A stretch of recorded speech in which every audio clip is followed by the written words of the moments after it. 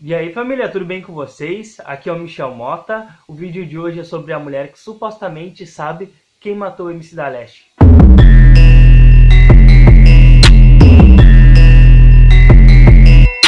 Uma tal de Miss Lane desaparece. Agora vocês perguntam, quem seria ela?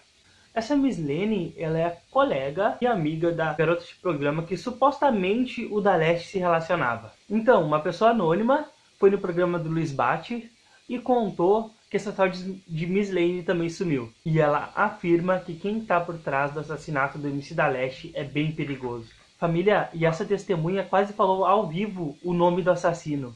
Foi por pouquinho mesmo. Ela foi falar o nome e ela trocou de, de frase, de palavra e não chegou a falar no programa. Então essa testemunha eu tenho certeza que sabe mais que muita gente, hein?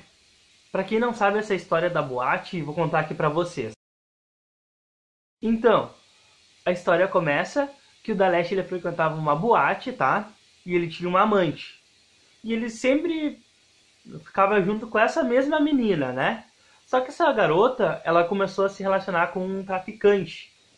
E esse traficante era bem perigoso e tal. E ela queria mudar de vida com ele.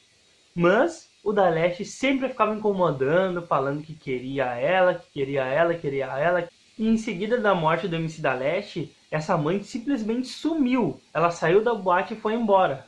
Então, família, o que vocês acham que é verdade? Essa história da boate ou não? Da Leste uma amante ou não? Eu acredito que não, seja tudo mentira, mas, né? Então, o que vocês acham? Comenta aqui embaixo.